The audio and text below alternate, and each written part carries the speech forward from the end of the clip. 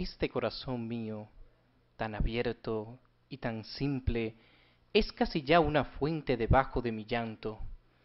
Es un dolor sentado más allá de la muerte, un dolor esperando, esperando, esperando. Todas las horas pasan con la muerte en los hombros. Yo sola, quieta con mi sombra en los brazos. No me cesa en los ojos de golpear el crepúsculo, ni me tumba la vida como un árbol cansado. Este corazón mío, que ni él mismo se oye, que ni él mismo se siente de tan mudo y tan largo. ¿Cuántas veces lo he visto por las sendas inútiles, recogiendo espejismos como un lago estrellado? Es un dolor sentado más allá de la muerte, dolor hecho de espigas y sueños desbandados. Creyéndome gaviota, verme partido el vuelo, dándome a las estrellas, encontrarme en los charcos. Yo que siempre creí desnudarme la angustia con solo echar mi alma a girar con los astros. Oh, mi dolor sentado más allá de la muerte, este corazón tan mío, tan abierto, tan largo. Quiero pedir un fuerte aplauso para la persona que nos ha congregado aquí esta noche. De un modo cósmico, hoy nos encontramos para honrar su vida, para conocer y también para discutir y, por qué no, para honrar su trayectoria como literata y también para ver su ejemplo de vida desde diferentes perspectivas. Damas y caballeros, nos encontramos en este auditorio Manuel de Jesús Perelló del Centro Cultural Perelló en un panel y conversatorio sobre la vida de Julia de Burgos que hemos titulado Julia la Nuestra. Buenas noches.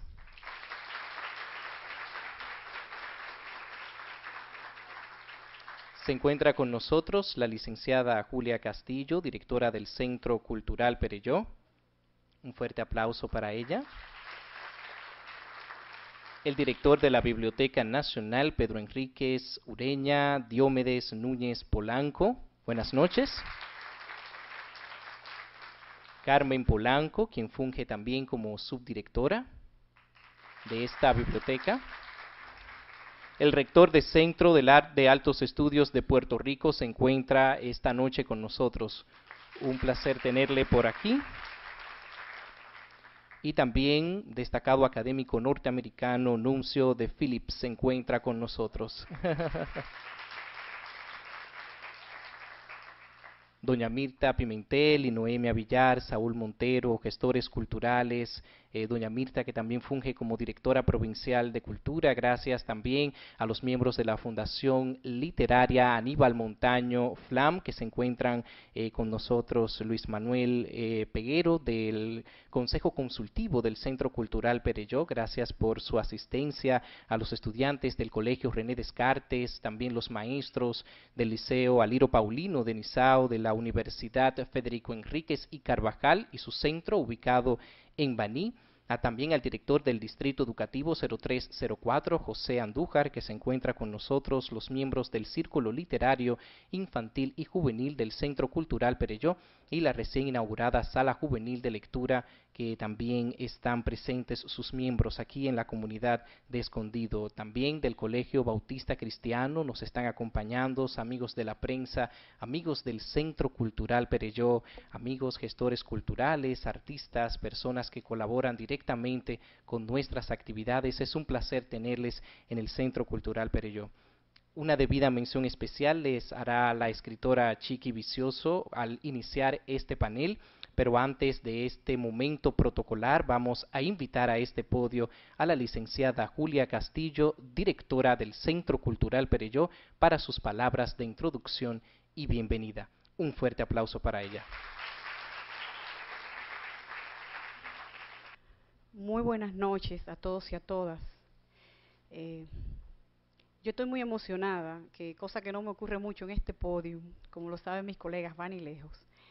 Pero eh, debo mencionar que en el año 1982 ya yo había leído toda la obra de Julia de Burgos. Y la hice mía y la llevo conmigo desde entonces. Pero esa no es la verdadera razón por la cual ella está aquí en estos momentos y su espíritu siempre ha estado dentro de mí. Es realmente Andrea Evangelina la que le abre las puertas de Baní a Julia. Y es a través de Chiqui Vicioso. Y lo digo porque esta noche, muy especial, mágica para mí y para todos los que estamos aquí, se debe a Andrea Evangelina y a Chiqui Vicioso, que cuando estábamos montando la obra de teatro de la cual este centro cultural fue sede y testigo, ahí se fraguó este evento que estamos viviendo esta noche. Chiqui se pudo.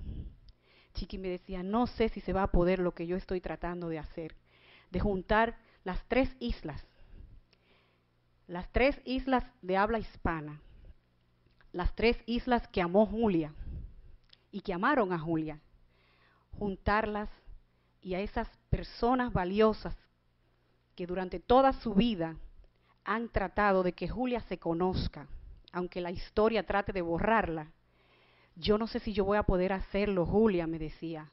Y yo le dije, sí, tú puedes. Claro que puedes. Si pudiste traer a Andrea Evangelina Baní, a Andrea Evangelina también, una mujer que la historia trató de borrarla, una mujer nuestra, una mujer que sufrió, al igual que Julia, sí vamos a poder atraer a Julia. Y lo hicimos, Chiqui. We got it a doña Daisy cuando me dijo que uno de sus sueños y de su deseo era que fuese doña Daisy Coco de Philippines la que realmente de su boca como dominicana representara el espíritu de Julia, le dije, si yo a esa señora la conozco, yo estuve en una de sus famosas tertulias en su casa en el año 1992. Nuncio, sí, yo comí mucha comida ese día me aproveché esas tertulias famosas de las cuales han salido las grandes escritoras dominicanas de la diáspora en Nueva York, gracias a ustedes dos, al amor que ustedes le tienen a este pueblo dominicano y a su, y a su pasión, a su fe en que las mujeres sí pueden, las mujeres sí pueden sacar de adentro su dolor y, lanzar su grito al mundo a través de la literatura. El aporte de ustedes dos es invaluable, ni siquiera ustedes se dan cuenta. Yo estuve en su casa en el año 1992, claro, era más joven, pelo negro, y estaba terminando mi maestría en la Universidad de Columbia, haciendo mi tesis ya en gestión cultural, y me llevó a su casa de la mano un domingo, que fuimos las dos con mucha hambre, yo no sé si fuimos a comer o fuimos a la tertulia, Josefina Báez, la actriz dominicana, luchadora de la romana, que hace teatro en Nueva York. Ella me llevó a su casa un domingo en el 1992, o sea, una década antes ya yo había devorado toda la obra de Julia. Cuando llegué a Boston, Massachusetts, donde hice mi licenciatura, diez años después conozco a Daisy y luego a través de Chiqui nos juntamos todos esta noche. Yo el mensaje que le quiero llevar a todos los que estamos aquí esta noche es que Julia es nuestra y que tenemos que dar a conocer a Julia de Burgos, aunque nunca pisó suelo dominicano, murió y vivió amando este país. Conózcanla, respétenla, venérenla. Y las jóvenes que están acá, todas son Julia, Julia de Burgos. Todas ustedes encarnan a Julia de Burgos. Escriban, saquen de adentro su dolor, sus alegrías, sus penas. No teman, no teman a nada. La pluma es la palabra más poderosa. Muchísimas gracias. Gracias a la licenciada Julia Castillo, directora del Centro Cultural Pereyó, quien nos ha brindado unas breves palabras de introducción y, por supuesto, eh, de bienvenida para iniciar este panel y conversatorio sobre la vida de Julia de Burgos que hemos titulado Julia, la nuestra. Creo que es el momento de dar la palabra a la moderadora de este panel, Luisa Echerezade Chiqui Vicioso, quien estará pues iniciando formalmente este panel e introduciendo con eh, breves palabras y también presentando a las panelistas que nos acompañan esta noche. Les dejo a todos con Chiqui Vicioso. Gracias. Buenas noches. Esperando que les hablemos un poco de la gran poeta nacional de Puerto Rico eh, que hemos declarado nuestra hace muchos años, Julia de Burgos. En, esta, en este panel van a participar dos académicas, la doctora Daisy Coco de Filipis, a mi derecha, y a mi izquierda eh, la doctora Aurea Sotomayor de Mileti. Eh, tenemos un privilegio extraordinario esta noche y es también contar con la presencia de la sobrina nieta de Julia de Burgos, María Consuelo eh, Sáez Burgos, eh, quien ha estado, está aquí con sus dos hijas que también están en el público y ha sido parte fundamental de esta conmemoración. Eh, Julia de Burgos nació un 17 de febrero del 1914. Estamos conmemorando su centenario. Tuvimos el privilegio como país de que se decidiera que la República Dominicana fuese la primera nación donde se conmemorara el centenario de Julia. Es decir, que nosotros diéramos inicio a las conmemoraciones por el centenario de Julia que van a abarcar la República Dominicana, continúan o se inician ahora en Puerto Rico, siguen en Nueva York y terminan en España en este ciclo. Eh, para nosotros es de mucho simbolismo, es, es muy importante que se nos haya elegido como sede porque fue una manera de reivindicar a Julia. Julia siempre soñó con venir a este país. Eh, cuando estaba en el exilio en Cuba, compartiendo el exilio con don Juan Bosch y con quien era su compañero sentimental en esa época, Juan Isidro Jiménez Grullón, Julia participó en prácticamente todas las actividades del exilio dominicano y escribió los textos más contundentes contra la dictadura de Trujillo que ustedes puedan imaginarse. De esa Julia de Burgos dominicana que nosotros hemos llamado nuestra, les va a hablar la doctora Daisy Coco de Filipis. Daisy es, yo diría, la, la estudiosa más persistente y conocida de la literatura dominicana en los Estados Unidos, sobre todo la literatura escrita por mujeres. Daisy sacó una primera antología de mujeres poetas que se llama Sin otro profeta que su canto. Después sacó una antología de mujeres cuentistas combatidas, combativas y combatientes, partiendo de una frase de Aida Cartagena Portalatín. Después publicó una antología de mujeres ensayistas dominicanas que se llama Conciencia y Conciencia, que es una frase de la gran ensayista dominicana Camila Enrique Sureña, para nosotros quizás la más erudita de las escritoras dominicanas en la historia del país. Y luego Daisy ha escrito eh, una serie de textos, por ejemplo, Stories of Washington Heights o Historias de Washington Heights, que ustedes saben es, el segundo Santo Domingo en Nueva York, donde se congrega la mayor comunidad dominicana, y unos textos que se llaman Tertuliando 1 y Tertuliando 2, que son los resultados de las tertulias que, como decía Julia, se han realizado en esa casa de Daisy en Queens, en Nueva York, se realizaron por más de 20 años. En esas tertulias participamos todas. entre ellas y Noemia Villar, una vanileja, que soy una novelista eh, reconocida de aquí, de esta región, y con Inoemia una serie de poetas que hoy están a la vanguardia en Nueva York, Marianela Medrano, Irene Santos, un grupo.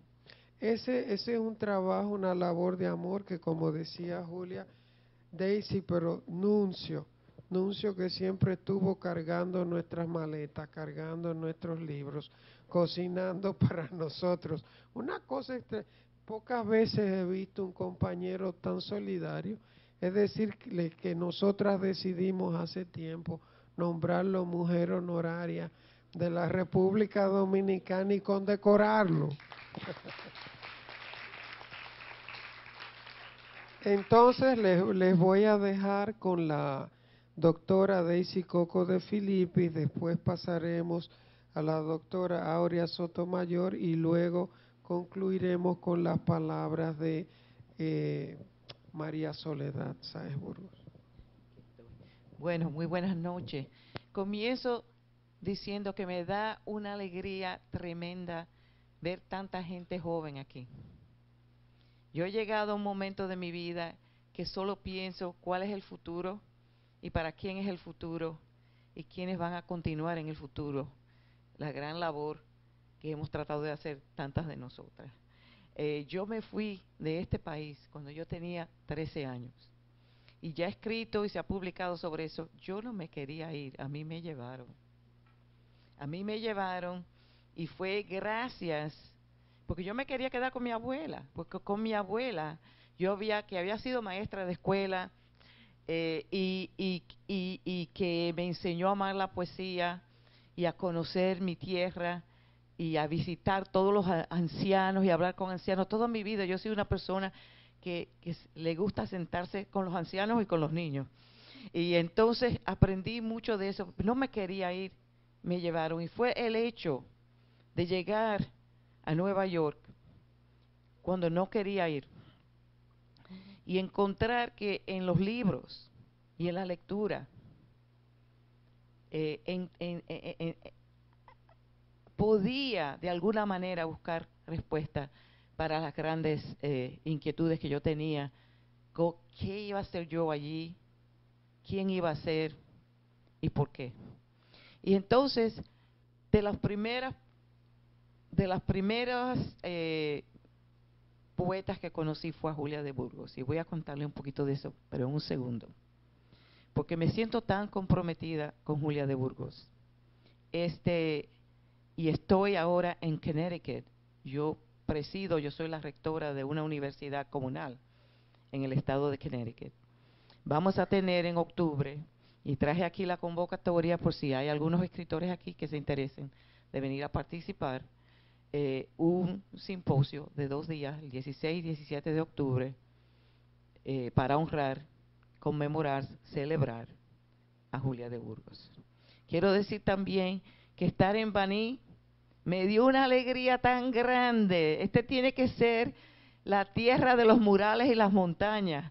¡Qué belleza! Y, tuvimos el privilegio de visitar la iglesia y de ver algunos de los murales que están ahí en el ayuntamiento y demás y, que nos explicaran. Y me sentí que había una gran fuerza y vitalidad en esta tierra. Ya yo sabía que había ahí mucho pulso por Inoemia, ¿verdad? Eh, la profesora con quien estoy aquí, Aurea, eh, María Sotomayor, poeta ella misma y gran, gran literata, me honro con estar con ella. Y esta joven, Julia Castillo, directora, a mucho pulso de un centro donde vienen tantos niños, no se puede.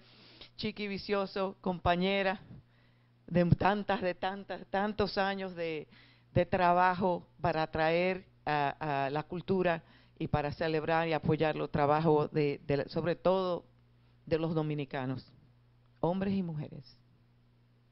He traducido, yo he publicado casi 20 tomos, son 20 tomos, y he traducido mucha literatura dominicana al inglés para que conocieran otras personas.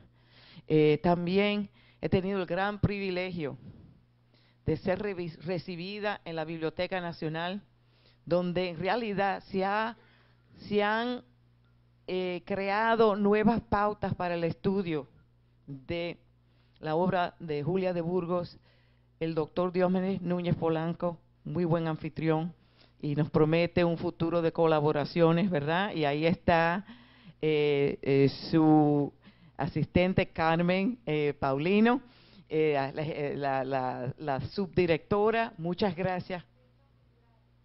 Gestión cultural. Bueno, mi vida sigue adelante, ¿verdad? Adelante. y también al señor rector de los estudios eh, avanzados en Puerto Rico y a el futuro aquí a, Eloy, Eloy que está, que ha apoyado todo de una manera maravillosa y a Juan, el esposo de Inoemia, que ha sido otro, él es otro anuncio, yo estoy convencida. Así que ella le fue muy bien. Entonces, déjeme decir, y aquí ya mencioné a todo el mundo, ¿verdad? Gracias a todos. Y a la presencia, la hermosa presencia de la sobrina de Julia y sus hijas. Una de ellas va a ser poeta, según entiendo, a lo mejor dos, ¿verdad? María Consuelo. Así es que ha sido un gran privilegio. Hemos de, la, la estatua de Julia de Burgos joven se encuentra cuando vayan a ciudad de Santo Domingo, en un hermoso parque que es de Pellerano Castro se llama, pequeño ahí en la ciudad colonial, tienen que ir a visitarlo y decir, yo sé quién es, porque ya yo, a mí me presentaron a Julia de Burgos unas cuantas profesoras amantes de Julia de Burgos, ¿ok? Entonces voy a leerle una frasecita de un trabajo que le ganó un premio a Julia de Burgos como periodista. Y es un ensayo que se llama Ser o no ser es la divisa. Y dice, o está en un sitio o en otro. No puede estar a un tiempo en las dos posiciones antedichas. Si se sitúa en contraposición a las fuerzas progresistas, automáticamente se coloca al lado de las fuerzas reaccionarias, convirtiéndose en cómplice de los brotes criminales del orbe. Lo más difícil, tantas veces, es decir, yo me voy a arriesgar a tomar posición. En inglés tienen una frase que dice sitting on the fence, sentarse en la cerca. Bueno, señor mío, el que se siente en la cerca tiene consecuencias porque le pueden entrar también ciertas, eh, ¿cómo se llama eso? Eh, bueno, de todas maneras, no se van a sentar. En la vida uno tiene que tomar una posición y tiene que decidir cuál es esa posición. Una de las razones por la que Julia de Burgos no pudo venir a Santo Domingo, una tierra que quería tanto, es porque la posición que ella tomó en aquella época, que era la dictadura de Trujillo, fue escribir sus poemas y sus ensayos hablando de las injusticias que ocurrían aquí. Entonces, fue una mujer de gran temple, fue una mujer de un corazón que se iba más allá de Puerto Rico, sino que se preocupaba también por el público y por, por el pueblo dominicano. Yo quería leerles el poema que más me ha ayudado a mí como ser humano y como joven que era yo entonces cuando lo leí y es entender, entender, sobre todo todos los, porque yo yo yo, yo tengo tres hijos varones y dos nietas. Entonces, tomar, ¿verdad? saber quién uno es. Si uno es una persona de color, se identifica con gran orgullo de ser una persona de color. Yo siempre digo, yo soy una persona de color porque parte de mi sangre viene de África, la otra parte de mi sangre viene de Europa y quién sabe de dónde más. Y no tengo que ser lo que no soy. Yo soy mujer. Yo soy mujer. A mí me gustan los libros. A mí me gustan la poesía. A mí me gusta ayudar a la gente joven. A mí no me importa. Yo puedo dirigir un centro. Yo puedo dirigir, como dirijo ahora, un recinto universitario y si me toca gobernar un país algún día, yo creo que lo puedo hacer también. Pero no tengo que ser yo, porque hay tanta juventud aquí que van a subir todos a poder gobernar, a tomar su puesto en una ciudad que comenzó con dos mujeres, mujeres fundadoras. Entonces, el futuro puede ser muy bien para los hombres, pero también para las mujeres. Y no hay un papel que defina al ser humano, solamente define lo que uno puede hacer y lo que puede hacer bien o mal. Ya sea blanco, ya sea negro, ya sea hombre, ya sea mujer, ya sea gay, el ser humano se juzga por lo que hace. Y ella llegó a esa en su primer en su primer poemario que se llama Poema en 20 surcos. Termina ese primer poemario con un poema en el que ya ella estaba bien clara, bien bien segura de quién iba, de qué lo que iba a hacer.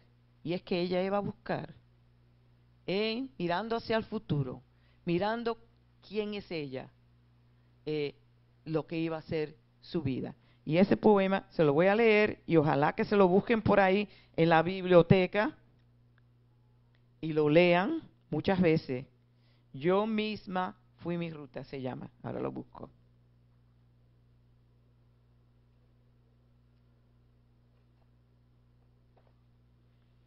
Se lo leo y si alguien lo, se lo sabe, que lo recite que mientras yo leo, porque me daría una gran alegría.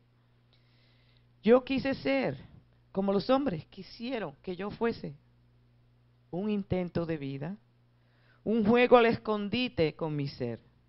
Pero yo estaba hecha de presentes y mis pies planos sobre la tierra promisora no resistían caminar hacia atrás y seguían adelante, adelante, burlando las cenizas para alcanzar el beso de los senderos nuevos. No le tengan miedo a los cambios no le tengan miedo al futuro. Adelante. Es para ustedes la juventud. A cada paso adelantado en mi ruta hacia el frente, rasgaba mis espaldas el aleteo desesperado de los troncos viejos. Esos troncos viejos es todo lo que se está muriendo detrás, lo que hay que dejar atrás y seguir adelante.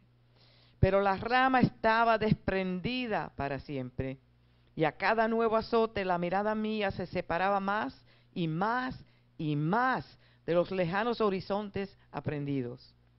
Y mi rostro iba tomando la expresión que le venía de adentro, la expresión definida que asomaba un sentimiento de liberación íntima, un sentimiento que surgía del equilibrio sostenido entre mi vida y la verdad del beso de los senderos nuevos. Ya definido mi rumbo en el presente, me sentí brote de todos los suelos de la tierra, de los suelos sin historia, de los suelos sin porvenir, del suelo siempre, suelo sin orillas, de todos los hombres y de todas las épocas. Nos ha abrazado a todos nosotros aún hoy día. Y fui toda en mí como fue en mí la vida. Yo quise ser como los hombres quisieron que yo fuese, un intento de vida, un juego al escondite con mi ser, pero yo estaba hecha de presentes. Cuando ya los heraldos me anunciaban en el regio desfile de los troncos viejos, se me torció el deseo de seguir a los hombres y el homenaje se quedó esperándome. Ahí está. Julia de Burgos fue maestra normal eh, trabajó mucho en el campo, un campo que se llama Naranjito. En esa época el único medio de transporte era el caballo y Julia iba en caballo a las comunidades donde ella daba clase. Fue una amante de la educación, entendió que la educación era la mejor manera para evolucionar, para desarrollarse que el estudio jugaba un papel fundamental en el futuro de una persona. Yo les dejo ahora con la doctora Aurea María Sotomayor. Ella es una doctora en literatura, poeta, ensayista. Eh, ha traducido la obra del Premio Nobel de Literatura de Walcott. Eh, es muy, es una caribeñista muy conocida y fue una de las, de las invitadas a este encuentro internacional para hablarnos de Julia de Burgos. Con ustedes le dejo con ahora.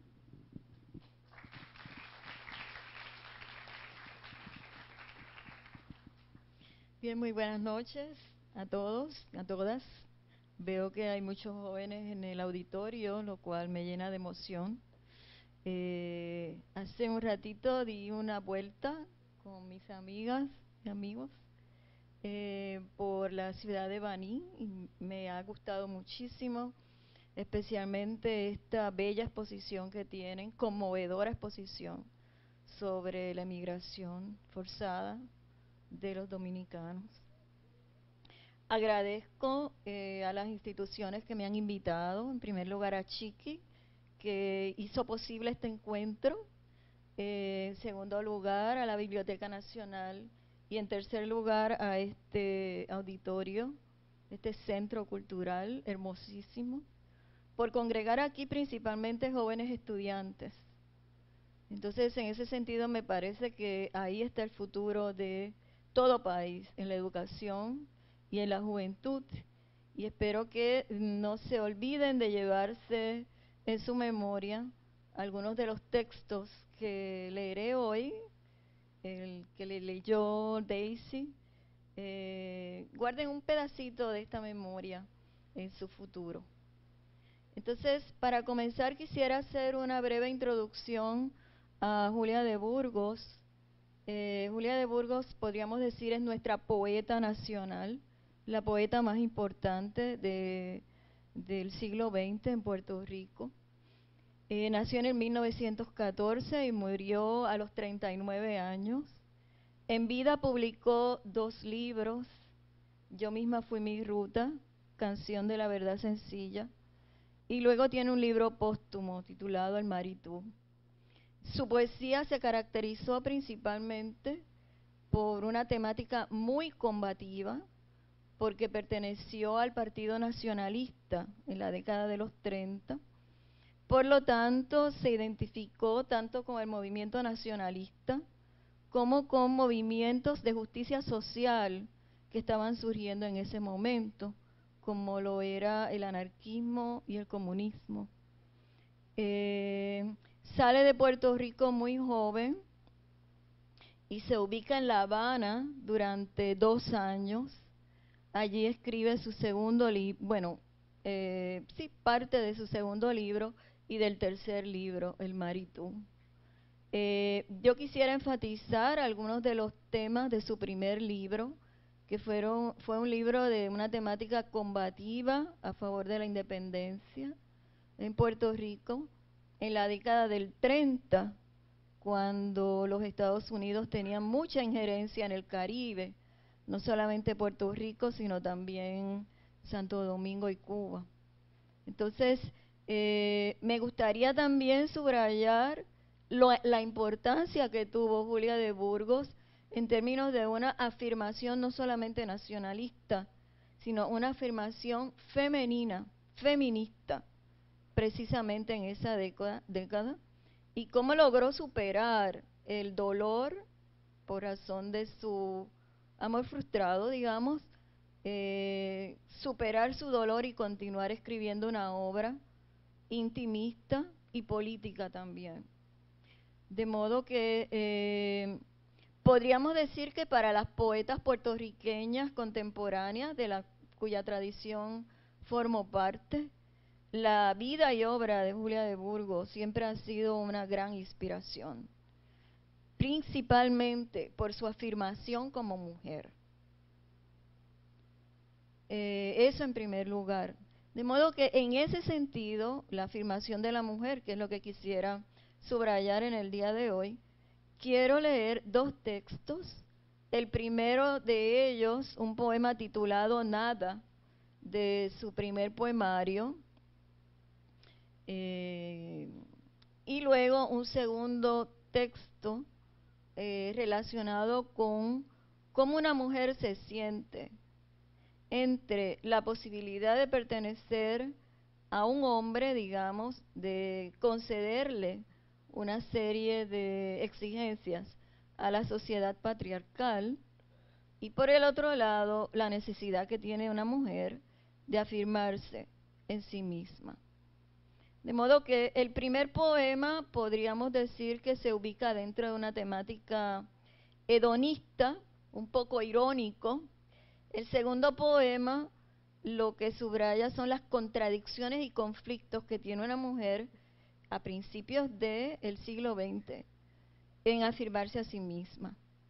Entonces, en esa tónica quisiera que eh, vayamos pensando a medida que vaya leyendo el poema, vayamos pensando en lo que el poema, ambos poemas nos proponen. Porque, en última instancia, ellos son el retrato puro de los conflictos por los que pasa no solamente una mujer, sino todo ser humano que se respete a sí mismo. Eh, lo que dice Julia de Burgos eh, no solamente habla en sentido de género, sino también en sentido del ser humano como ser íntegro. De modo que voy a comenzar comenzando por el poema Nada. Como la vida es nada en tu filosofía, brindemos por el cierto no ser de nuestros cuerpos. Brindemos por la nada de tus sensuales labios, que son cero sensuales en tus azules besos como todo lo azul, quimérica mentira, de los blancos océanos y de los blancos cielos, brindemos por la nada del material reclamo que se hunde y se levanta en tu carnal deseo, como todo lo carne, relámpago, chispazo, en la verdad mentira sin fin del universo. Brindemos por la nada, bien nada de tu alma, que corre su mentira en un potro sin frenos. Como todo lo nada, bien nada, ni siquiera se asoma de repente en un breve destello. Brindemos por nosotros, por ellos, por ninguno, por esta siempre nada de nuestros nunca cuerpos, por todos, por lo menos, por tantos y tan nada, por esas sombras huecas de vivos que son muertos. Si del no ser venimos y hacia el no ser marchamos, nada entre nada y nada, cero entre cero y cero. Y si entre nada y nada no puede existir nada, brindemos por el bello no ser de nuestros cuerpos. Entonces fíjense que aquí hay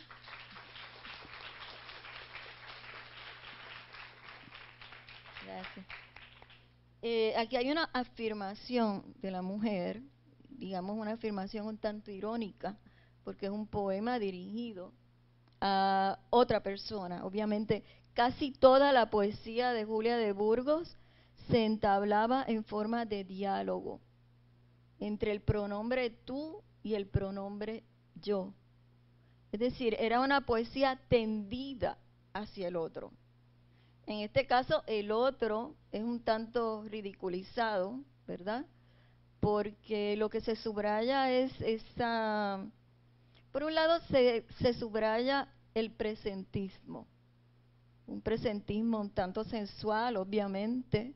Gran parte de la poesía de Julia de Burgos en su primera época subrayó ese aspecto, en ese sentido estaba descubriendo un lenguaje un lenguaje común con otras poetas latinoamericanas que coexistían en ese momento, tales como Juana Di Barburo, Delmira Agustini, eh, un poco Gabriela Mistral, Alfonsina Storni. Eh, ese lenguaje sensual eh, luego va desapareciendo porque es mucho más importante su afirmación política, y su afirmación como mujer.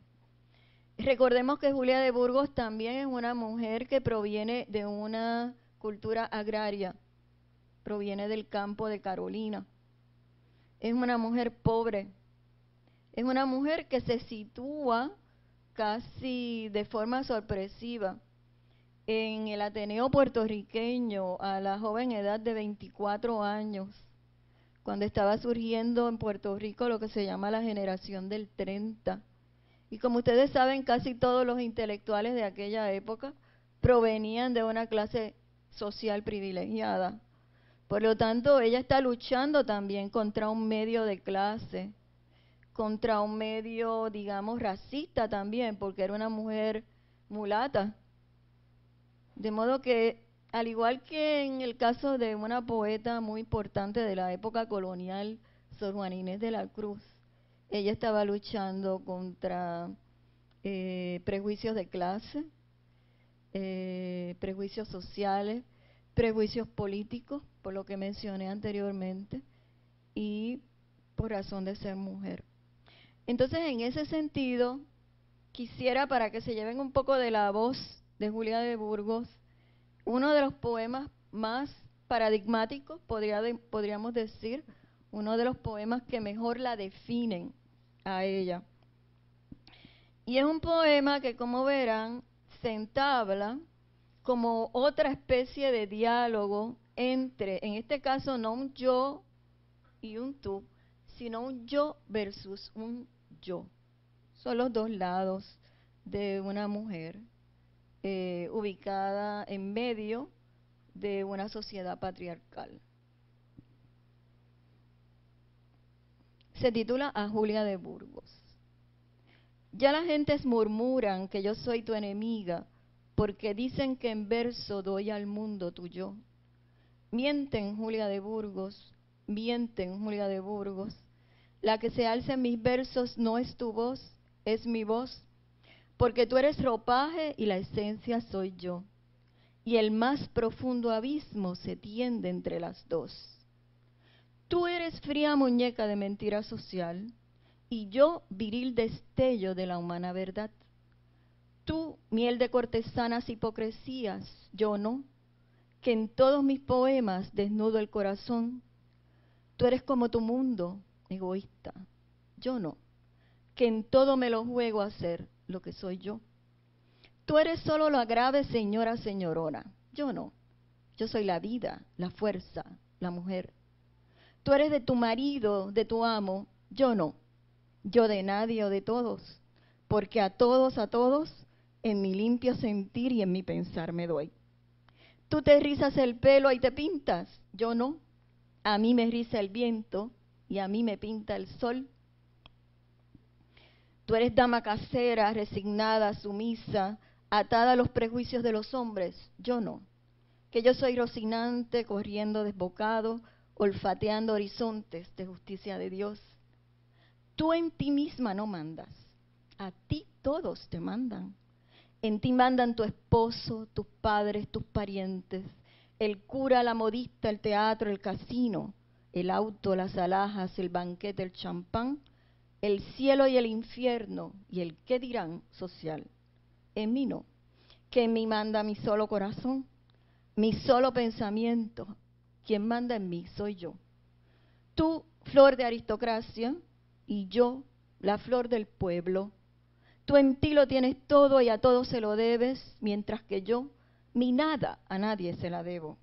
Tú, clavada al estático dividendo ancestral, y yo, un uno en la cifra del divisor social, somos el duelo a muerte que se acerca fatal. Cuando las multitudes corran alborotadas, dejando atrás cenizas de injusticias quemadas, y cuando con la tea de las siete virtudes, tras los siete pecados, corran las multitudes, contra ti, contra todo lo injusto y lo humano, yo iré en medio de ellas con la tea en la mano.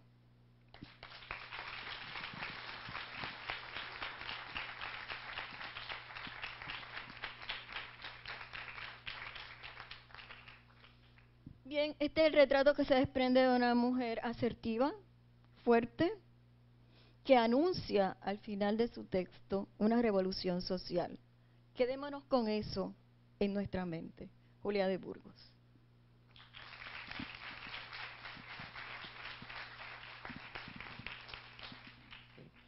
Bueno, ahora vamos a tener el, privilegio de escuchar eh, un testimonio familiar de, como ya les dije, la sobrina nieta de Julia de Burgos, eh, eh, María Soledad.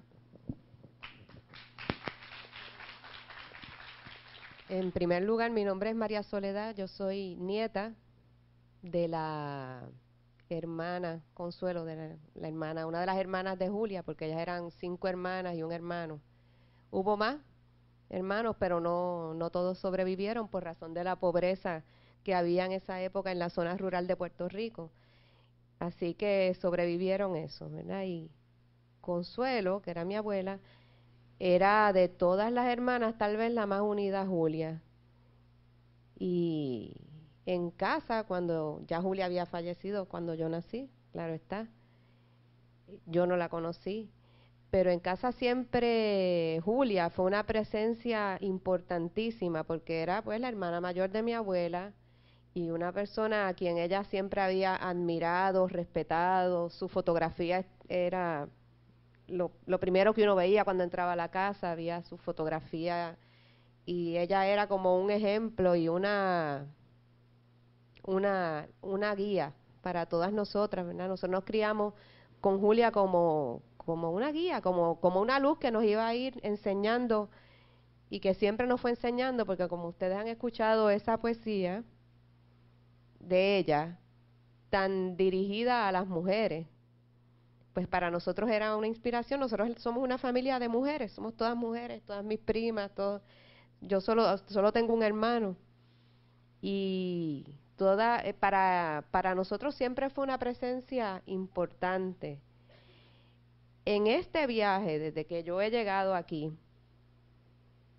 que tengo que agradecer a Chiqui, a la Biblioteca Nacional, a todas las ponentes que están aquí y también las que no han estado aquí, pero han estado en las otras eh, eh, actividades que hemos tenido durante este viaje. Obviamente a Julia, la directora del, del centro, de este centro, que pues esa feliz coincidencia de que se llame Julia, supongo yo que tiene que tener un gran significado, ¿verdad? Porque esas son cosas que, que suceden por alguna razón que ella sabrá. Yo lo que pienso es que cuando yo venía para acá hoy, yo decía, bueno, ya no voy a llorar porque yo me he matado llorando, ¿verdad? Desde que llegué, porque el hecho de que a nosotros nos invitaran a venir aquí, que a Julia se le recibiera como se le ha recibido, que haya habido tanta actividad, todas hermosas, porque han sido todas actividades, cada cual con su particular importancia, con su particular hermosura, ¿verdad? Ha sido todo, ha sido una sensación de emociones que mis hijas y yo eh, todavía estamos procesando. Y yo pensé que ya lo había visto todo y que no podía, pero entonces aquí me han recibido estos niños de, de círculo literario con unos poemas. Y ahorita, y verdad, me excuso porque me tardé en llegar, pero es que los estaba escuchando. Me, me estaban leyendo unos poemas que ellos han escrito dedicados a Julia. Y yo creo que ese es el simple y sencillamente el homenaje más sublime que puede haber.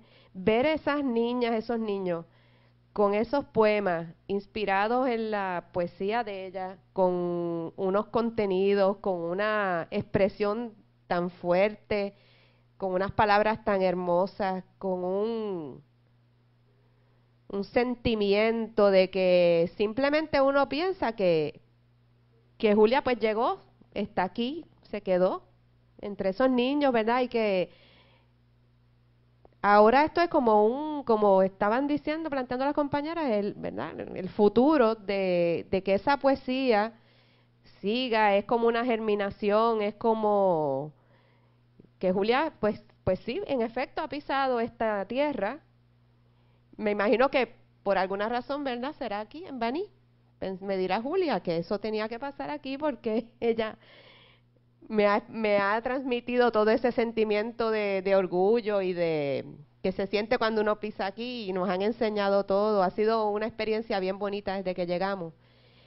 Yo pienso que el homenaje mayor y pienso que como Julia, que fue maestra normalista y que muchas, nosotros conservamos muchas cartas que ella le escribía a mi abuela, porque ella una vez se fue de Puerto Rico, nunca regresó y le escribía cartas. Y mi abuela también estudió para ser maestra. Y ella le hablaba en esas cartas de cómo se debía tratar a los niños, de la importancia de cómo debía ser una maestra, de por qué era importante educar a los niños.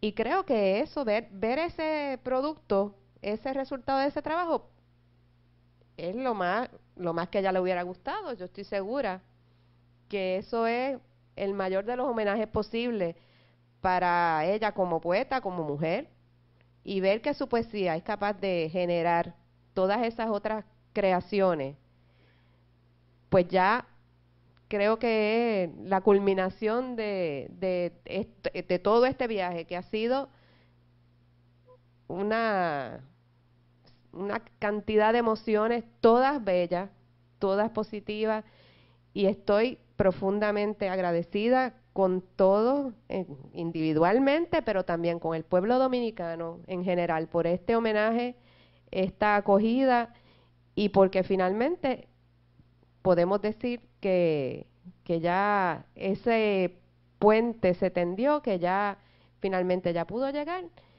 y, y de ahora en adelante pues seguirá aquí y seguirá allá y seguirá en Cuba y todo ese trayecto seguirá allá en Nueva York. Por eso, seguirá por todo ese viaje, ese viaje que ella dio, lo seguirá dando, ¿verdad? Para siempre, pienso yo. Así que les agradezco mucho a todos y sobre todo a los niños en este, en este caso en particular.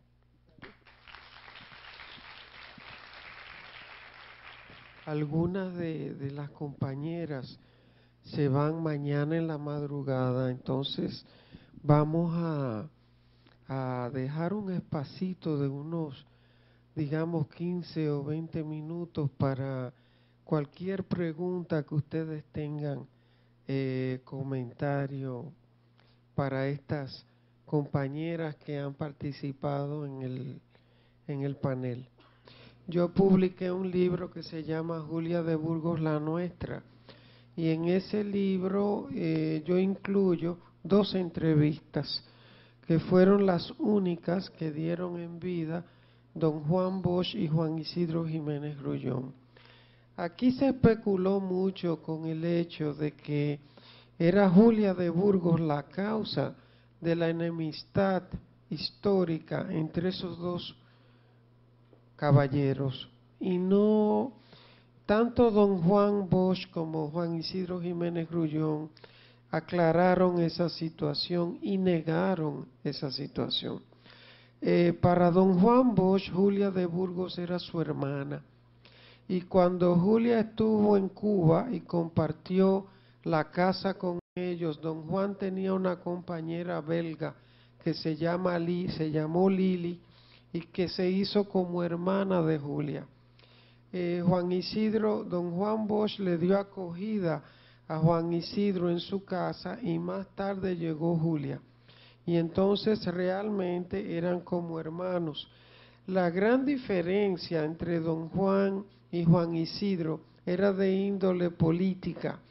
Don Juan decía que Juan Isidro pensaba que por ser nieto de un presidente de la República estaba predestinado a ser presidente de la República Dominicana y entonces se comportaba como tal. Es decir, no era humilde, tenía tendencia a la arrogancia, etcétera, etcétera. Además de que don Juan desaprobaba la manera en que trataba a Julia de Burgos, porque don Juan decía que Juan Isidro era un psicópata de los celos y entonces le hacía la vida imposible a la poeta. esa, esa contradicción esa contradicción política se manifestó con claridad cuando a don Juan Bosch le dan el golpe de Estado. Hay que recordar que don Juan Bosch es el primer presidente electo por el pueblo dominicano de manera masiva después de una dictadura de 31 años. Y Juan Isidro Jiménez Grullón, por contradicciones con don Juan, fue uno de los firmantes del acta de derrocamiento de don Juan, algo de lo cual se arrepintió después y pidió muchísimas excusas y escribió muchísimo sobre eso, haciéndose un mea culpa, pero la realidad es que su competencia con don Juan, que era de índole política, lo llevó a cometer un error político que lo sentenció para siempre en la historia dominicana. Entonces, aclaro, Julia de Burgos nunca fue una causa de hostilidades entre ellos dos. Eso es algo, una mitología que se eh, difundió aquí, que mi libro aclara, porque tanto Juan Isidro Jiménez Grullón como Juan Bosch dicen, Julia para Juan Bosch era una hermana. Y lo dice Juan Isidro y lo dijo Juan Bosch.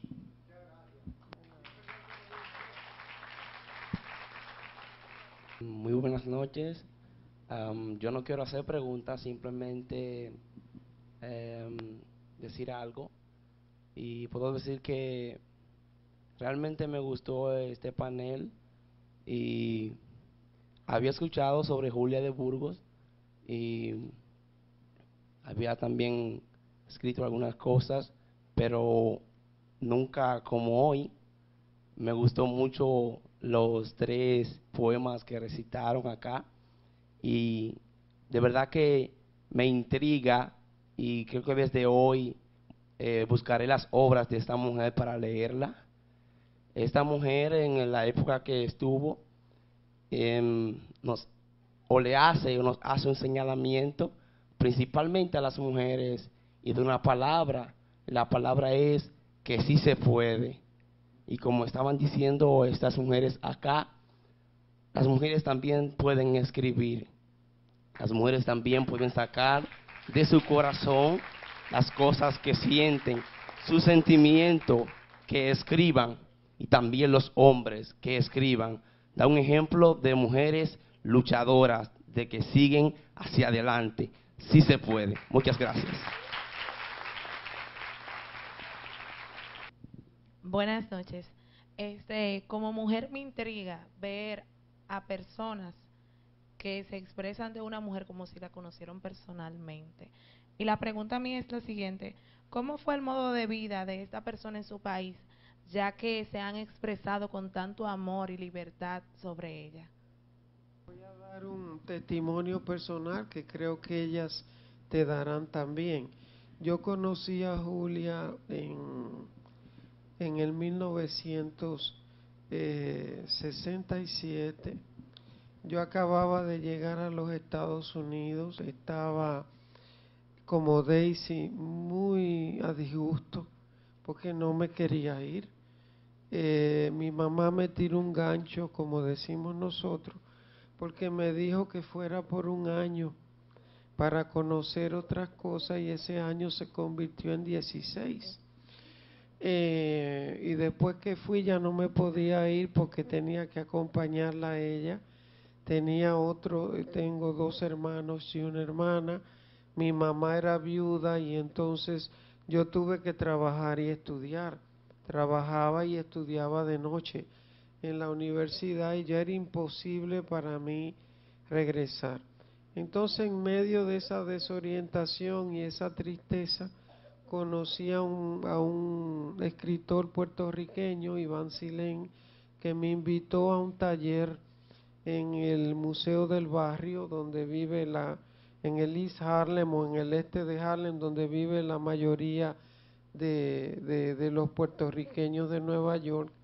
Y entonces ahí yo oí hablar de esta poeta que a mí me asombró, me encantó su poesía y yo no sabía todavía lo que ella había hecho por República Dominicana. Ahí me regalaron un afiche que yo mandé enmarcar, lo puse en la sala de mi casa. Y entonces un día vino el pintor Silvano Lora, que por cierto estaba desinformado y me dijo, esa mujer eh, fue muy importante en la vida de Juan Bosch y Juan Isidro Jiménez Grullón y me contó algo de su lucha en el exilio dominicano. Y después da la casualidad que unos años más tarde viene la hija de Juan Isidro Jiménez Grullón a estudiar cine a Nueva York y se hospeda en mi casa. Y cuando ella ve el retrato de Julia, ella dijo, esa fue la mujer más importante en la vida de mi padre y ella es un miembro de mi familia ella convive con nosotros nosotros crecimos con ella y me contó la historia de Julia. Y así yo comencé a descubrir la Julia de Burgos, la nuestra, es decir, la que había escrito los poemas contra Trujillo, los ensayos contra Trujillo, había denunciado la dictadura. Entonces Julia, a mí, como una dominicana emigrante a la ciudad de Nueva York, me dio una fuerza extraordinaria, porque yo vi como ella, a pesar de, de haberse desplazado de Puerto Rico, de su campo, de su río, de su vida de maestra, la, lucha de ella, no solamente por sobrevivir, sino por todos nosotros. Y eso para mí fue un testimonio de vida y ella pasó a ser parte de mi familia espiritual. Yo considero a Julia como una madre. Es por eso que hemos bregado tanto para traerla a la República Dominicana, porque se lo prometimos en, en esa época. Julia, algún día llegarás. Entonces usted tiene razón cuando dice que hablamos de ella como si estuviera viva, porque es que está viva. Ella vive en mi casa. Ella vive en la casa de Daisy, estoy segura que vive en la casa de Aura, pero deja que sean ellas que te cuenten. Algo muy curioso me pasó cuando llegué a los Estados Unidos, y es que cuando yo salí de aquí a los 13 años, yo era dominicana, los puertorriqueños eran extranjeros, los cubanos eran extranjeros, los venezolanos eran extranjeros, los chilenos extranjeros. Y llegué allí y como yo era una persona lo que llamaríamos, se ha llamado la otra, la persona que era diferente, que no era parte del grupo estudiantil que estaba allí, mayormente eran muy pocos los dominicanos o los latinos que existían allí. De repente me dijeron, bueno, you're Hispanic, you're Latina. Yo dije, bueno, si soy eso, me siento mucho mejor, ¿verdad? Me siento mucho mejor porque dentro de mi gran sentimiento de no pertenecer, de buscar una manera de encontrar quién yo era porque era una adolescente, de repente encontré hermanos puertorriqueños, hermanas cubanas, chilenas, venezolanos, todos éramos los otros. Y en gran parte yo comencé a leer a Julia y a conocerla y amarla porque un profesor puertorriqueño, Rafael Rodríguez, me la presentó. De la misma manera que me presentó la obra de Pedro Mir. Y entonces, entendiendo que ella, siendo puertorriqueña, unas, unos un par de décadas antes que yo en Nueva York y que había pasado por ser precisamente la otra y que había visto y que había abrazado a nuestros pueblos hispanos como suyo. Yo la abracé como mía y en su poesía, en su poesía, encontré una manera de, fueron varias, varios, eh, yo diría, maestros que tuve. Eugenio María de Hostos es otro. Esa, la educación científica de la mujer, otro gran puertorriqueño. Entonces, él decía, muchos, casi, qué sé yo, 170 años, que la mujer, que en aquel entonces educaban a las niñas, las que podían ir a la escuela porque venían de clase bien, a tocar un poquito de piano, a preparar un buen postre, un poquito, pero él decía, la mujer ha nacido con la capacidad de pensar y tiene derecho a estudiar matemática y ciencia. Entonces, ese mundo que yo encontré en la que yo era la otra, que tenía que aprender otro idioma, que tenía que aprender a sentirme, aunque era diferente,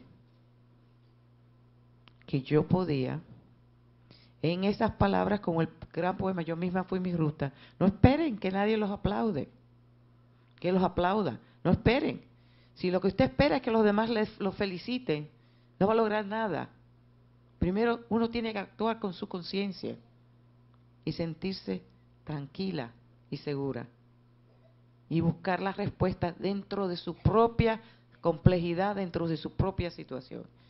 Y eso en, en, en, en los escritos de Julia y en ese abrazar al pueblo hispano como uno, eh, fue entre los, las grandes maestras que yo tuve para sentirme como me siento una gran caribeña y muy conforme de quien yo soy.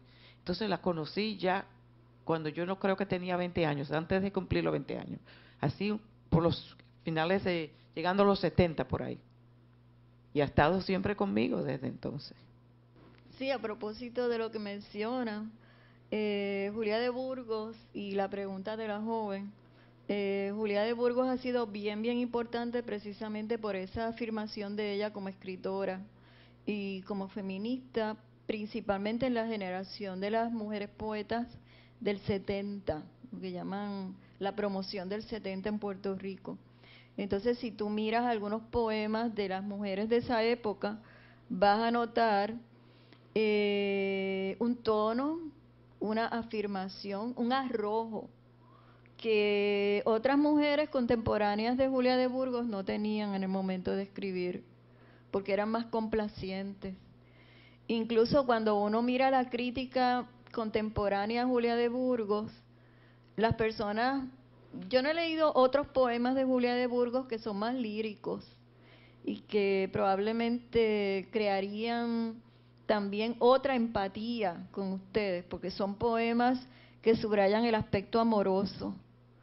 Pero este, las nuevas poetas puertorriqueñas, eh, yo diría, se caracterizan principalmente por un tono más combativo y van descubriendo otro lenguaje, precisamente porque por el arrojo de Julia de Burgos, en combinar, por un lado, un, verso sencillo, a veces uno pensaría, bueno, esto, esto, es esto es un poema que proviene de la prosa, yo quise ser como los hombres quisieron que yo fuese.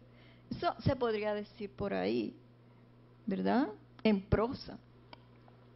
Pero ella, con, ella concatena eso con unas relaciones de causa y efecto en términos del papel de la mujer en la sociedad.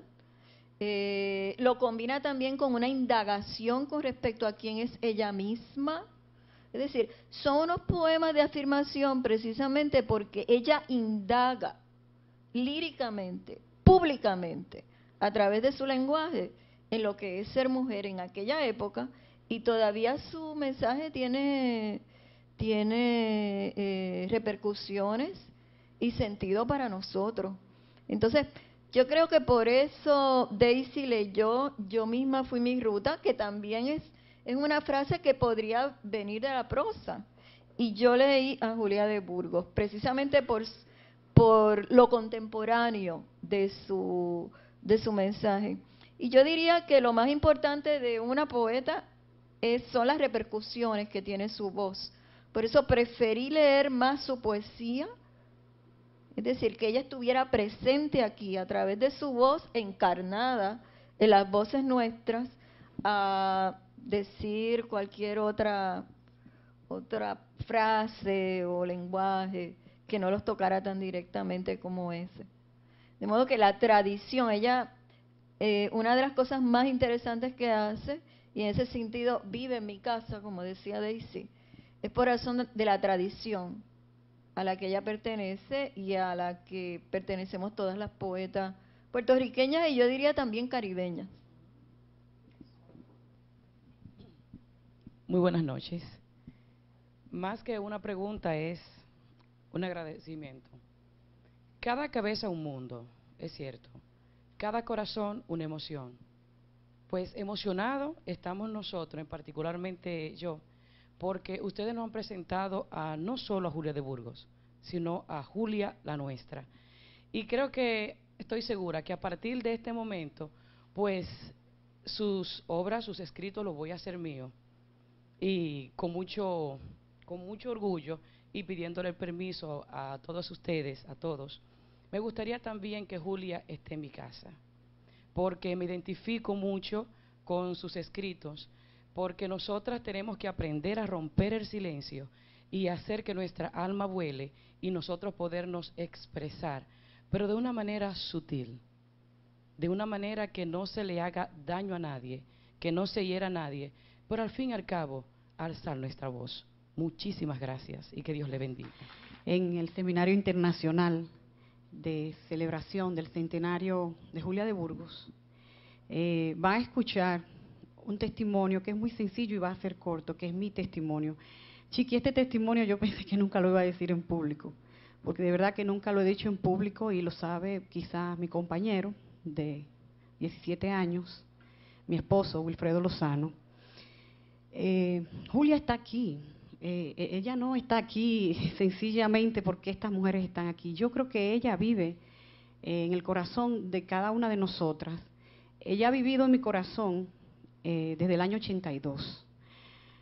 Yo nací y fui nací y me crié aquí en Baní y siempre fui eh, una muchacha muy tradicional, muy sumisa, eh, criada en una familia, la familia Castillo, mi papá, un hombre político, mi tío político, todos son políticos por parte de mi padre y por parte de mi madre, Mejía, donde se caracterizan más o menos casi todos por ser gente sensible, artistas, pintores, y las mujeres sobre todo muy sumisas y muy tradicionales y muy conservadoras. Entonces mi padre, en el 1969, emigró a Boston. Eh, fue una decisión, fue una mezcla de una decisión, lo que yo le llamo el exilio político, porque ya no aguantaba más seguir viviendo en este país. Yo tenía siete años. Y yo nunca más volví a vivir con mi padre hasta la fecha de hoy. Me quedé viviendo con mi madre. Y realmente siempre soñé con unirme a mi padre e ir a Boston a vivir con él. Porque sí es cierto que es el ser humano que yo más amo, los celos de mi madre son legítimos. Y no la culpo de que ella se sienta mal porque siempre fui muy muy rebelde porque quería estar con él, pero como era una niña, pues no me podía salir de las faldas de mi madre, quien me cuidaba y me protegía. Finalmente, cuando cumplo 18 años, ya que me consideré mayor de edad, me fui a Boston con la ropa que tenía puesta, con un pasaporte. Con, compré mi boleto yo misma con un anuncio que hice en la televisión. Solo hice el anuncio para ganarme el boleto. Y el anuncio no lo llegué a ver de cigarrillo nacional, porque cuando lo lanzaron en la televisión, en todo el país, ya yo estaba en Boston. Cuando llego a Boston sin ropa, entonces se arma un escándalo, ¿verdad? Y a esta niña rebelde, que siempre fue sumisa durante 18 años, que rompió las cadenas, que decidió ser libre físicamente, entonces me mandan a vivir a un convento de monjas en Boston. Viví un año en el convento de las hermanas carmelitas en Jamaica Pond, un año. Cuando entro a la universidad, eh, que eso ocurrió dos o tres meses después, conocí a, tenía un compañero de estudios puertorriqueño, migrante también, independentista, joven, eh, apellido Rivera, y él siempre estaba cerca de mí observándome, curioso, haciéndome preguntas y decía, tú, eres una chica pues muy rebelde, no sé, y ya le hablaba de la política dominicana, de mi padre, eh, que fue un hombre que construyó en gran medida el Partido Revolucionario Dominicano en el, en, el exilio y en toda, en toda la costa de Massachusetts. Y un día me dice que tú te pareces tanto a Julia de Burgos. Entonces yo que yo no sé quién es esa mujer, esa sí, es que tú, tú eres ella. Entonces insistía con esto de que yo me parecía a Julia de Burgos. Y ya terminando el, curso, él me regala el libro de Julia de Burgos en inglés, su primer libro, y me dice, toma para que la conozcas y sepas quién tú eres, me dice él.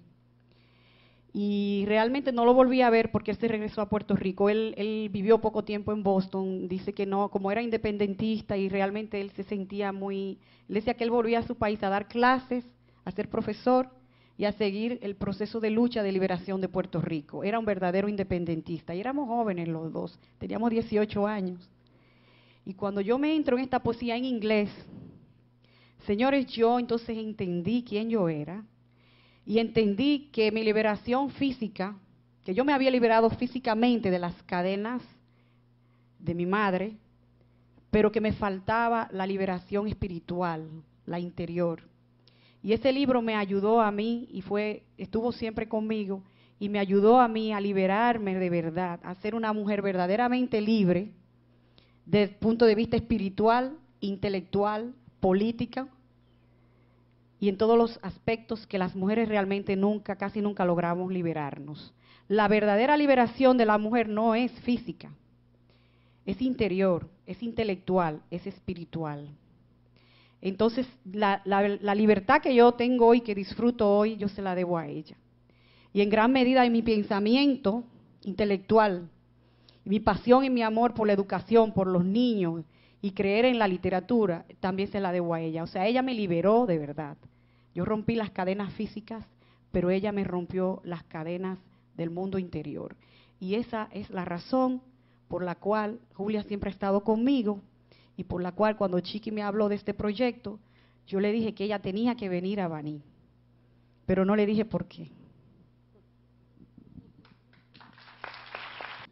Concluimos la noche entonces dándole las gracias por haber venido a los muchachos y muchachas por ser tan educados. Nosotros no lo éramos. eh, este, este silencio, este recogimiento, está sabiendo nosotras que ustedes estaban aquí desde hace rato. Muchísimas gracias, muchísimas gracias a Bani. Siempre es inspirador venir a este pueblo donde la libertad siempre ha sido una bandera. Y muchísimas gracias a Julia y al Centro Pereyó por invitarnos repetiremos. Si nos invitan, volveremos. Muchas gracias. Sí. Sí. Eh, Chiqui, eh, hay una sorpresa para ustedes. Le tenemos una sorpresa para ustedes especialmente y para todos los que están aquí. Eh, Ramón, Isabel, por favor. Ustedes son los protagonistas de esto. Quiero invitar a que pase por aquí para leer un poema especial que ha escrito para esta noche sobre el amor a Juan Alejandro Pinales Paniagua. Un fuerte aplauso. Buenas noches, mi nombre es Juan Alejandro y este poema se lo dedico a una persona la cual no está aquí y también a mi madre, la cual me ha criado con mucho amor y mucho cariño y muchísima educación. El amor. El amor es un sentimiento que sentimos, el cual no se puede explicar. El amor te persigue hasta que lo hayas aceptado y te hayas envuelto en él. El amor se sufre, pero no busca rencor, sino que tu corazón se abra hacia la persona que amarás y amarás hasta morir. La vida nos enseña muchas cosas, al igual que amar. El amor te llamará y te enviará a un mundo de aventura en el que te enamorarás. El amor es como un mar profundo, cuan profundidad no se conoce. El amor es verdad y el odio es una injusticia, lo cual nos dice que de la injusticia no se goza, más se goza de la verdad. Muchas gracias. Gracias a Juan Alejandro, miembro de nuestro Círculo Literario Infantil y Juvenil y pues con un fuerte aplauso recibimos a Ramón Aníbal Mesa de la Fundación Literaria Aníbal Montaño FLAM. Gracias, buenas noches. Debo saludar verdaderamente de corazón de parte de la Fundación Literaria Aníbal Montaño y de la promoción 101 Niños Poetas de San Cristóbal, saludar a Chiqui, a Daisy, a Sotomayor y también a María por sus palabras, por su Julia, nuestra Julia, por ese destello de luz. Saludo también la presencia de los representantes de la Biblioteca Nacional aquí presente, a los hermanos puertorriqueños, a la encargada de Cultura, doña Milta, gracias por estar aquí presentes realmente. Gracias, Julia, por la invitación a la Fundación Literaria en el Montaño para mostrar un poco de cómo está Julia en nosotros, cómo está Julia aquí en Baní y Julia en San Cristóbal, en los niños poetas de San Cristóbal. Yo quiero llamar para un breve recital a estos chicos, quiero llamar de inmediato a Sheila, a Lensen, a Mairobi. Adelante, chicos. Eh, Sheila. Adelante. Buenas noches, mi nombre es Sheila Mabel, tengo 12 años de edad y para mí es un placer estar compartiendo en esta hermosa noche con ustedes. Eh, espero que les guste la lectura. El poema que voy a leer se titula Alba de mi silencio, en homenaje a la poeta Julia de Burgos. El universo desvela la mirada de tus ojos. Tus pupilas amarran mis labios al silencio de tu cuerpo. No sé si es poesía lo que escribo. Tal vez sea pasión, locura o el retrato de la misma muerte. Al el silencio que aguarda la noche, bajo la música que reposa en tus hombros. El aire arrastra la tristeza que quema. El cielo me atrae como si fuera la lluvia. Al vez la llama que enciende mi cuerpo, para ya no pensar que aún soy mujer que rompe la soledad. Gracias.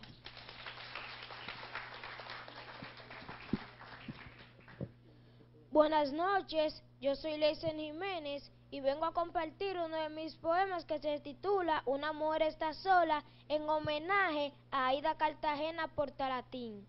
Una mujer está sola, oculta tras el trazo del verso, tras las noches oscuras de un momento. Una mujer oculta en un verso inverosímil de un momento. De cementerios ocultos, noches solas y seres muertos. Una mujer está sola, en plena muerte, en pleno día, en plena noche.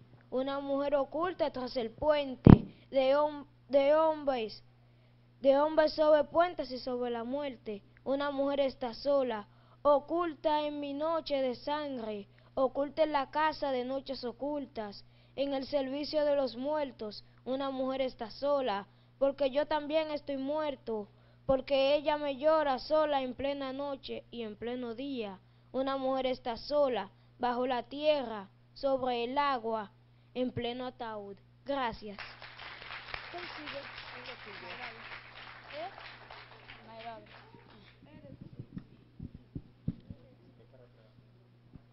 Buenas noches, mi nombre es Jacob y le, voy a leer uno de, de mis poemas de, titulado Te perdí. Te perdí cuando traducías el aroma de mis ojos, cuando mirabas la boca de la luna.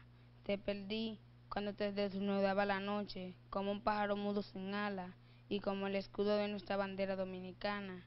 Te perdí como una navaja madura y como si las y como si y acentos. Te perdí como una flor perdida, como un perro con rabia que se alimenta de mis palabras.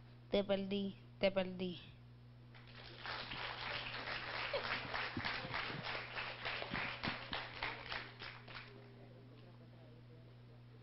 Mi nombre es Richard Lemuel, Richard Lemuel Parra y mi poema que voy a leer se titula Vivir sin patria. Vivir sin patria es lo mismo que vivir sin los colores de la bandera y sin la escuela. Vivir sin patria es lo mismo que vivir sin madre que me acaricie por las noches. Gracias.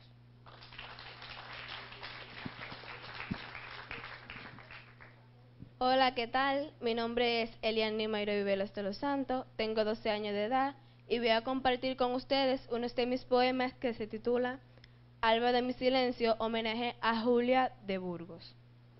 Me siento sola en la oscuridad, la luna me acaricia, el silencio me molesta, las, las, los pétalos me hablan, mi cuerpo está, está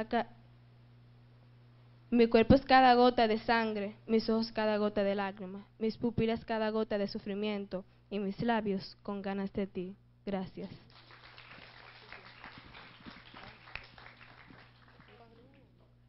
Muy buenas noches, muy buenas noches. Mi nombre es Lander Ismael de la Rosa Casado y tengo 12 años, digo 10 años de edad y voy a compartir uno de mis poemas que se titula La hormiga sin corazón.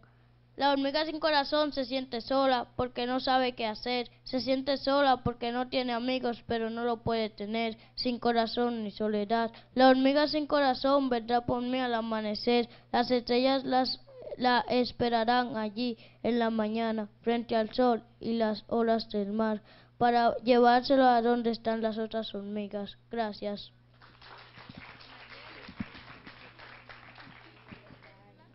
Buenas noches, mi nombre es Kensen Jiménez. Tengo 14 años de edad y pertenezco a la Fundación Literaria Animal Montaño y voy a compartir uno de mis poemas que se titula Una mujer está sola en homenaje a Aida Cartagena Portalatín. Una mujer está sola, sentada en los versos de la vida o pensando en o pensando en decir o tras el espíritu de una muerte estúpida. Una mujer está sola, sentada en el frío abismo de una ribera, la mira o la espera una lo espera un silencio. Sí, una mujer está sola. En los cementerios la muerte la mira y un ataúd esperando a nadie, sí, a nadie. Silenciosa noche, una mujer está sola, tras los versos muertos, una pared mirando, una mujer está sola, muerta, en silencio, sí, en silencio, muerta.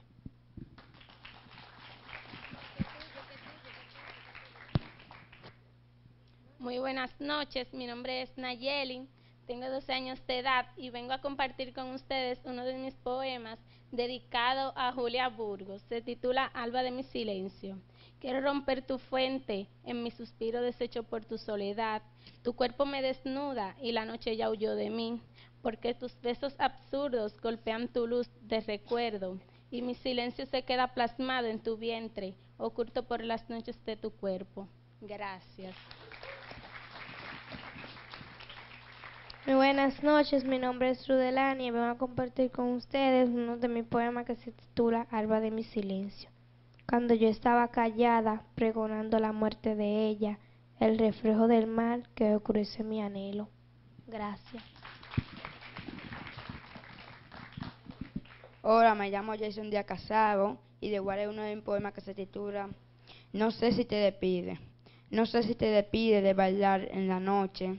No sé si te despide de regresar al agua. No sé si te despide para soñar junto a mi lado. No sé si te despide para barrer junto a mi lado.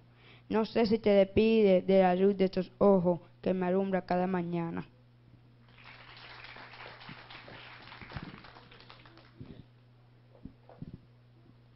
Buenas tardes, mi nombre es Darien. Buenas noches, mi nombre es Darien Mesa y voy a compartir uno de mis poemas que se titula, que es dedicada a Julia Burgos y que se titula Una mujer, no mujer.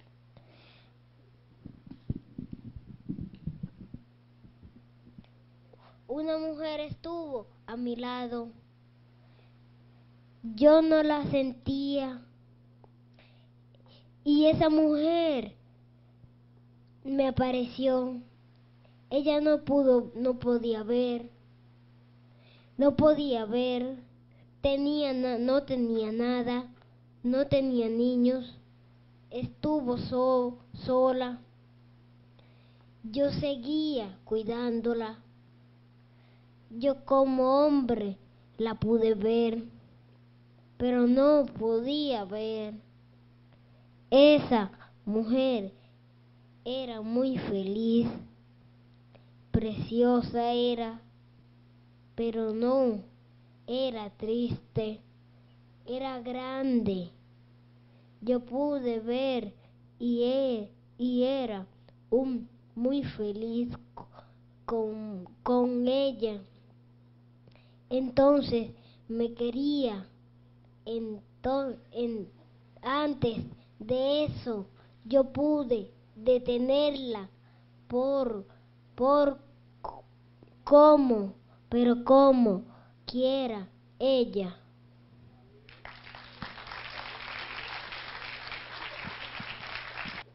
Estos chicos representan la promoción 101 Niños Poetas de San Cristóbal. Han publicado ya sus primeros libros Duarte Sueña, tienen publicada también su antología 101 Niños Poetas de San Cristóbal y otro proyecto que tienen también eh, por ahí pendiente. Vamos a escuchar entonces eh, este, este esta última parte.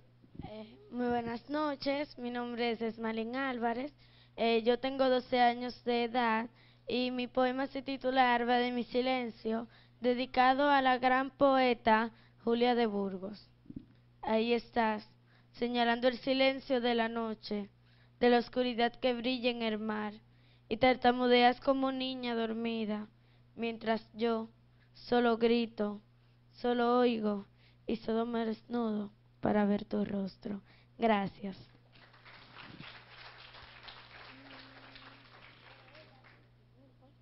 Muy buenas noches, mi nombre es Ñol Brito, para los que no estuvieron ayer presentes, eh, me gustaría compartir con ustedes unos de mis poemas titulado Alba de mi silencio, en homenaje a Julia de Burgos, la, una gran amiga de la Fundación Literaria Nivel Montaño.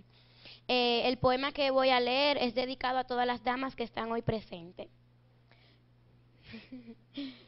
Casi muero de miedo porque estoy en ti Miro la, miro la pared y veo la luz. Pienso que sonrío. Me vuelvo en tus sábanas blancas. Quiero escribir tu nombre en mi vida y vertirme fea como los pájaros y que me lleve el deseo, alba de mi silencio, niña de amor que juega con su vida. Muchas gracias.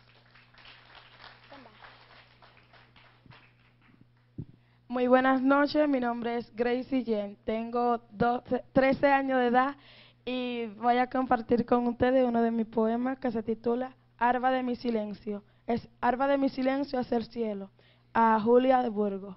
Arba de mi silencio es el cielo pintado en mí, es mi cuerpo tirado en tu mano. Un verso dice cosa de mí, olvido que existe mi imaginación. Arba de mi silencio, mis manos pintadas en tu rostro, dibujo mi cuaderno en tu silencio. Mi mirada me mira y de mis versos salen lágrimas de muerte.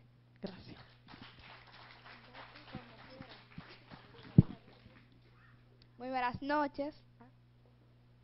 Muy buenas noches, mi nombre es Álvaro Ciris Alcántara y voy a compartir con ustedes uno de mis poemas que se titula Alba de mi silencio, homenaje a Julia de, a Julia de Burgos. Tus versos flotan en, mi, en tu boca, tu amanecer se mira en el espejo, las lágrimas caen como si fueran piernas de tortugas, tu vida es un misterio, tus labios son las sangres que alegran el alma, mi vida es tu vida y el arma son tus versos borrados. Gracias.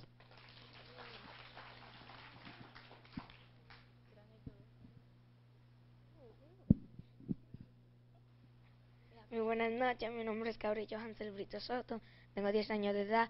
Voy a compartir con ustedes uno de mis poemas que se titula ¿A dónde está? Alba de mi silencio, homenaje a Julia de Bulgo. No te veo y la Noé se escapa. El día es oscuro para dos cuerpos sin un mismo pensamiento alba de mi silencio, de mi, de mi, de mi corazón, sé desolado porque tú no estás conmigo. Gracias.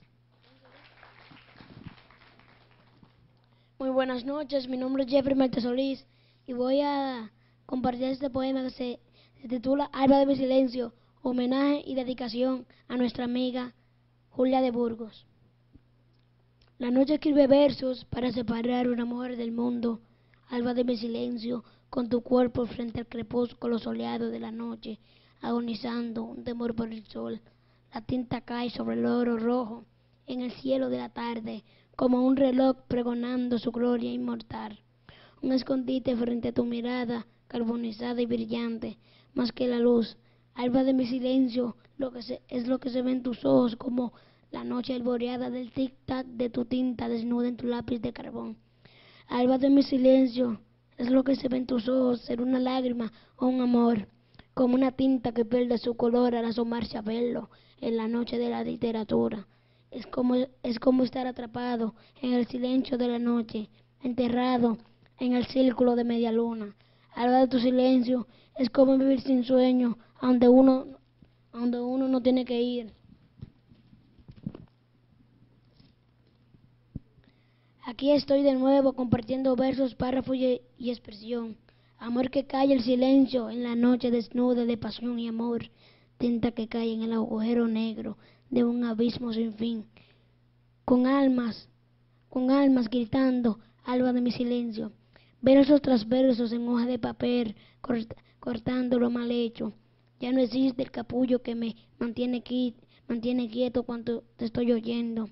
Nunca había visto el compás de la noche, ni siquiera la pisada de cada cara. Alba de mi silencio, porque soy un, porque soy un verso en día de cada noche. Alba de mi silencio, con amor que vivir. La noche refleja el rostro de una mujer en la noche de la aurora. Gracias.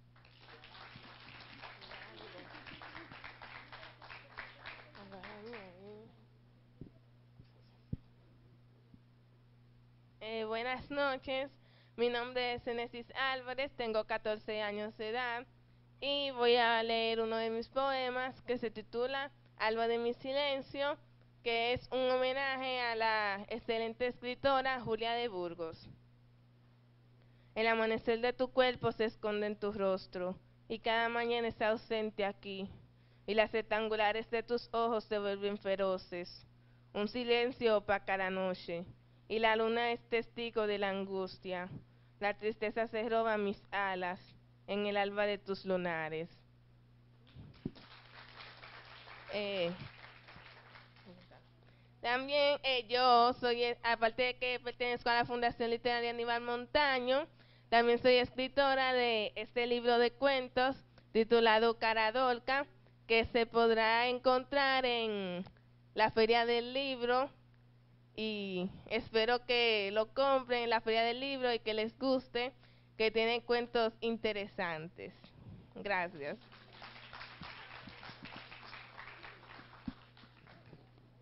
Y ya para cerrar este círculo de lectura, en homenaje a Julia de Burgos, yo voy a leer mi poema que se titula Alba de mi silencio. Ay, mi nombre es Dairobel, tengo 13 años de edad. Una mujer es una voz que rompe las letras, un tú, un yo, un nosotros, un nadie, un sol que lee mis versos, un tú, un yo, una vida que se acerca a la muerte, un alba callada, un tres, un silencio, un tú, un yo, una poesía que me habla, un tú, tres países, un corazón. Gracias.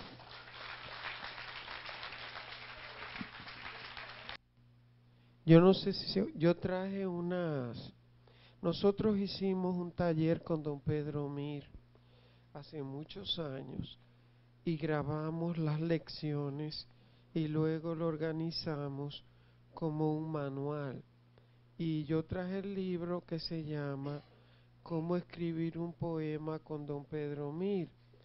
Ese libro lo, lo compilamos la escritora Emelda Ramos y yo y Bárbara Bosch hizo los dibujos.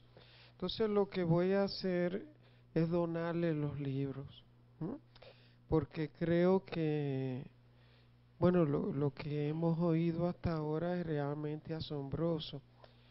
Em, yo, yo no me hubiese imaginado el, el nivel, es bastante, para la edad de los niños, es increíble. Entonces les voy a dejar este libro, las copias que queden, no sé qué se vendió o no se vendió, pero lo que haya quedado del, del manual este, que es muy importante porque tiene una definición de la estética y, un desglose de la poesía y cómo se escribe. Yo se los voy a dejar como una manera de darle las gracias por esta maravilla. Bien, Marles Indira Rodríguez para que haga entrega también de una colección a Daisy y también a Chiqui, a Isabel Florentino, presidenta de la Fundación Literaria el Montaño, para que hagan esta entrega eh, formal de nuestros libros publicados por la Fundación Literaria el Montaño, pues a estas dos grandes eh, intelectuales y también pues a las demás que nos acompañen, la familia de Julia de Burgos.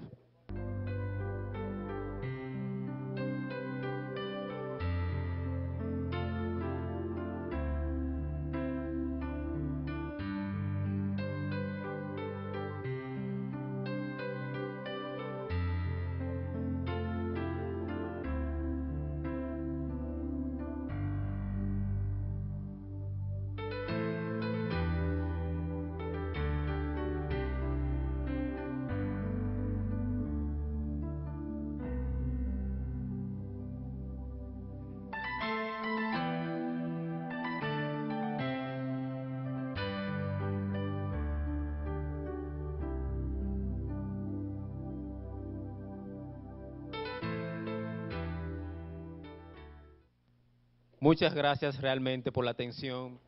Gracias a ustedes por sus palabras y esperamos que disfruten. Julia. Ramón es muy tímido. Yo quiero decirle a todos los que están aquí y a las compañeras, a las colegas, que la Fundación Aníbal Montaño fue la fundación este año ganadora del premio Brugal Cree en su gente. Y ese es un premio muy valioso para este país, porque hay pocos premios nobles y generosos, y ese es uno de ellos. Y este señor, Isabel, que quiero que suba acá arriba, han venido trabajando durante 15 años como pareja, esposos, ella poeta, él pintor ya enganchado a poeta, porque siempre hay un nuncio. Eh, Ramón es el nuncio de Isabel. Gracias a Dios, ¿no? Que hay unos cuantos nuncios por ahí. Y que en 15 años de trabajo juntos, porque la poeta es Isabel, pero es muy tímida. Entonces, nuncio es menos tímido, como pueden ver. Gracias a ese trabajo de 15 años, señores, trabajando en San Cristóbal, con los niños, eh, quizás, a veces uno piensa y dice, los niños más pobres, no, ellos son los niños más ricos del país, porque son ricos en espíritu, en cuerpo, en alma, en mente. Y ellos han tenido, gracias a esta pareja, la oportunidad, señores, de ingresar en los talleres literarios que ellos trabajan, que ya son 101 niños poetas, de los barrios de San Cristóbal.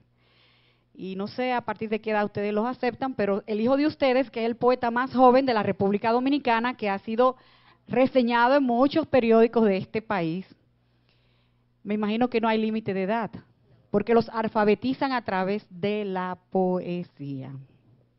Gracias a ellos, eh, el Centro Pereyó también tiene un círculo literario. Tiene un círculo literario que ellos vinieron aquí cuando este centro abrió sus puertas, se acercaron ellos al Centro Cultural Pereyó, señores, como a los seis meses de nosotros inaugurar. Qué buena memoria tiene Julia. Las memorias de las Julias son muy peligrosas, porque no olvidamos. Amamos, pero no olvidamos. Y esa pareja se acercó al centro y se puso a toda la disposición de poner eh, Baní, al Centro Pereyó, su servicio, su experiencia manejando talleres literarios con niños desde pequeñita edad. Y se inició acá en el Centro Cultural Pereyó, nuestro círculo literario infantil y juvenil, y ya ellos tienen su primer libro publicado, que se titula Soy Sueño, gracias a la generosa colaboración de la Embajada de Francia. Entonces, Brugal cree en su gente, nosotros aquí, Centro Cultural Pereyó, y ustedes que están muy conmovidas con la poesía de los niños, también cree en su gente. Creemos en ustedes y estamos muy confiados que todos esos niños, los vanilejos y los san cristobalenses, van a ser grandes poetas como Julia de Burgos. Ya lo son, pero van a trascender a otras tierras. Muchísimas gracias por su trabajo y por su colaboración.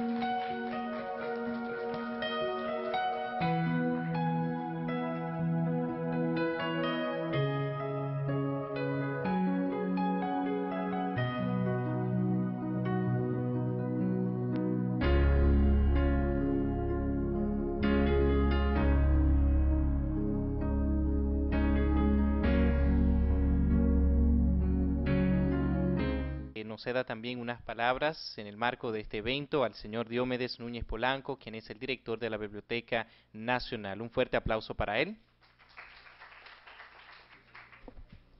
muchas gracias.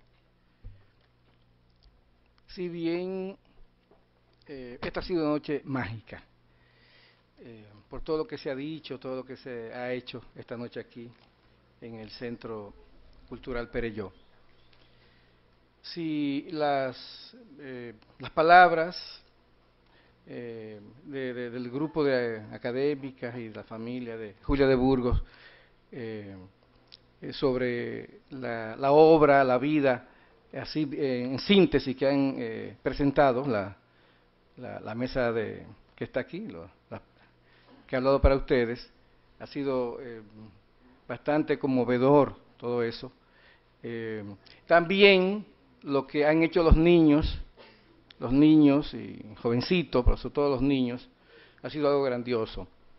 Eh, y haciendo eh, honor a la frase, aquella frase de Jesús, dejad que los niños vengan a mí, por algo lo, lo habrá dicho. Y em, también Máximo Gómez, el gran Máximo Gómez, generalísimo, ¿no? Es decir, de esta tierra. También cuando salía, cuando salía de, Santo Domingo eh, para la, gran guerra en Cuba, la independencia, eh, estaba uno de sus hijos dormido, ¿no? Y, que se despidió de su mujer, pero eh, no pudo despedirse del niño. Dijo, a los niños cuando duermen no se puede despertar, es decir, hay que dejarlo tranquilos. ¿no? Es decir, los niños siempre han sido una, una expresión de la vida y del futuro. Lo que hemos visto con los niños que han leído sus, hermosos poemas, y yo diría, Chiqui, que en algunos casos grandes poemas de esos niños, eso, eh, eh, anuncia, eh, además de lo que decía Sotomayor, que la, poesía de Julia anunciaba una revolución social Pienso que también lo que ha ocurrido aquí esta noche con los niños, que, que Ramón y que Isabel, eh, a través de la Fundación Montaño, eh, coordinan y estimulan, anuncia muchas cosas grandes para la República Dominicana y yo diría que también para el Caribe y el mundo. En ese sentido, propicia la noche para que anunciemos aquí una decisión que tomaron todos los participantes en el Congreso, en la jornada internacional eh, Julia de Burgos, la nuestra, y es que eh, ya después del evento celebrado en la Biblioteca Nacional, durante dos días de intenso trabajo, con un nivel muy alto, todo lo que se ha debatido, bueno, ya han podido ver ustedes el nivel que tienen los expositores y otros que otras y otros que no están presentes en este acto, se tomó una decisión allá eh, que se iba a hacer por escrito, pero que me permitieron que lo anunciara aquí, y es que eh, se concluyó, entre las conclusiones de ese Congreso Internacional, Julio de Burgos, la nuestra, eh, figura el hecho de comprometerse las instituciones que participaron en ese Congreso a celebrar